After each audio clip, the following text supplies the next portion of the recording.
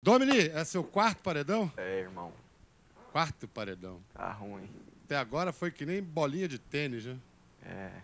Agora, diante de sua namorada, os dois no paredão. Sabrina. Oi. Ai, primeiro paredão, né? Primeiro. Maior broto, né? Isso foi o que a gente pensou no início. Puxa, tão bonitinha. Mas aí, além de suas curvas, com todo respeito, de seu sorriso alucinante, a gente começou a ver que tem uma pessoa muito legal morando aí dentro, né? Muito bacana. E aí você proporcionou aí ao Brasil muito. Virou um xodó, né? Você e o Domini, um xodózinho do Brasil. O pessoal gosta de um casal, né? Por que será, hein, Domini? Tem que ter.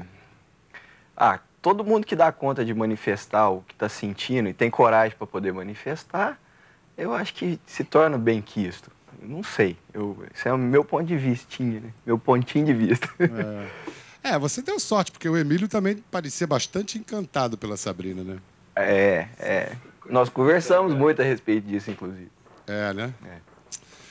Bom, Sabrina, é... com 60% dos votos, você foi eliminada, Sabrina.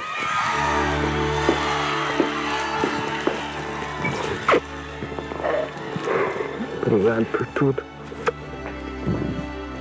Obrigada a você, Domi. Você olha fora. Obrigada, obrigada. Deus te abençoe todo o seu sucesso, tá bom? Tá bom. É um prazer. Cara, foi todo mundo, a gente vai se ver muito A aí. gente vai ser bastante. Ah, Japão!